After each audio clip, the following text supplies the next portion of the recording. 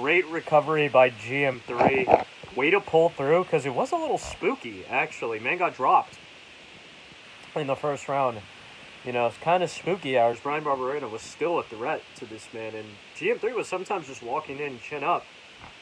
Worked out in the end, was able to take the back and then actually get the rear naked choke this time and put him to sleep on the jaw, choke on the jaw.